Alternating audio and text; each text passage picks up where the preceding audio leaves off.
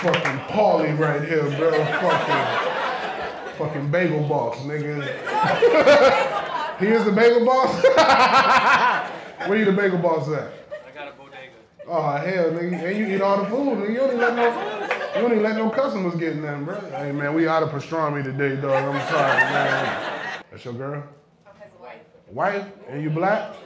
I'm African, actually. So you a nigga too? All right, bro. fuck I'm the real black, you know? it. Ethiopian? No, Eritrean? Sudanese. Sudanese. That's why you got that big forehead.